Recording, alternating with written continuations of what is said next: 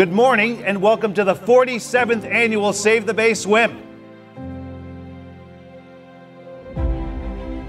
Thank you for bearing with us this morning with the uncertain conditions that started, but here we are and we're ready to go. You have two hours to complete the swim. Have a great time and we'll see you on the other side.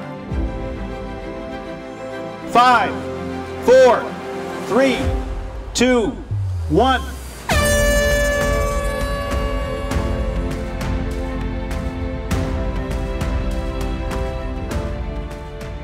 We live in the ocean state, so I feel like the more things we do to celebrate our aquatic state, the better off we all will be, and the more in tune with what's happening we'll be as well.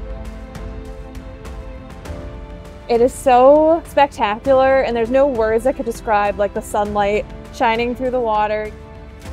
It is the one day a year that you get to have the perspective that nobody else gets to have.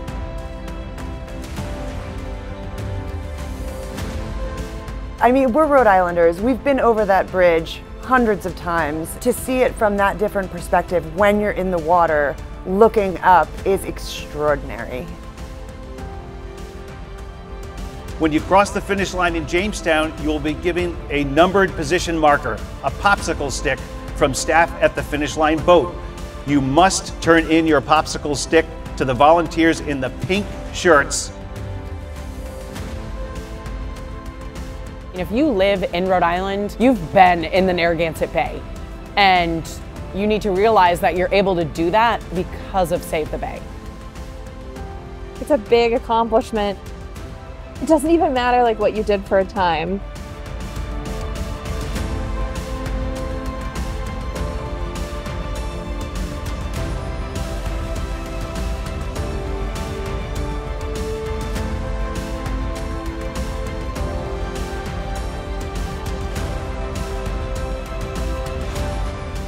Thank you for participating in Save the Bay's 47th swim. Thank you.